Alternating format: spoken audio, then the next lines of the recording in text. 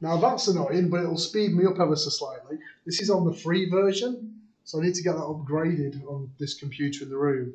So no wonder it looks different. It's on the free version, which only gives me a five minute window of recording. So at least it shuts me. That shuts me. No, quick shuts me up a little bit. Uh, so sorry about that when it disappeared. And so I have to keep an eye on the time here now.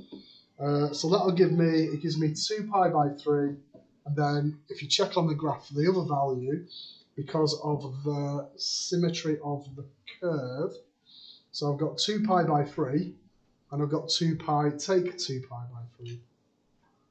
Uh, so 4 pi by 3. There we go. There.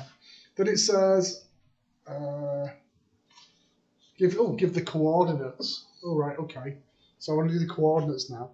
So an x is 2 pi by 3, y would be 2 pi over 3 plus 2 sine of 2 pi by 3. You stick that in your calculator, you get 2 pi over 3 plus root 3. So that will have a coordinate 2 pi over 3, comma, 2 pi over 3 plus root 3.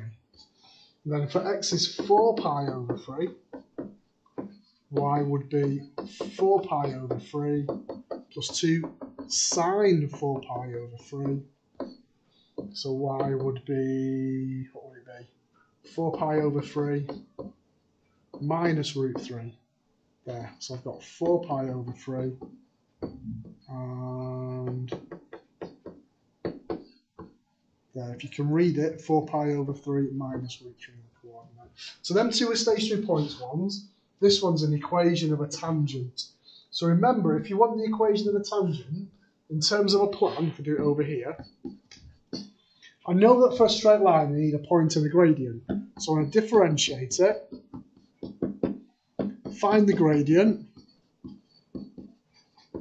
find the y value if I've not already got it, and then just use those to make the equation.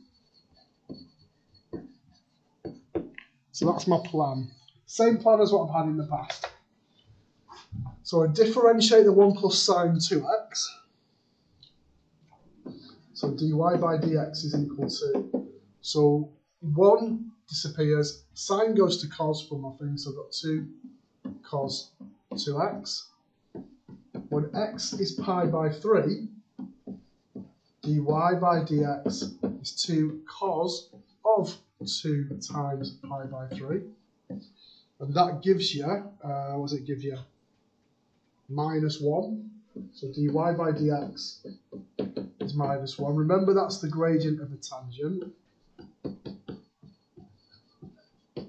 I need the y value though. So y is 1 plus sine of 2 times pi by 3, which is 1 plus root 3 over 2, randomly. 1 plus root 3 over 2.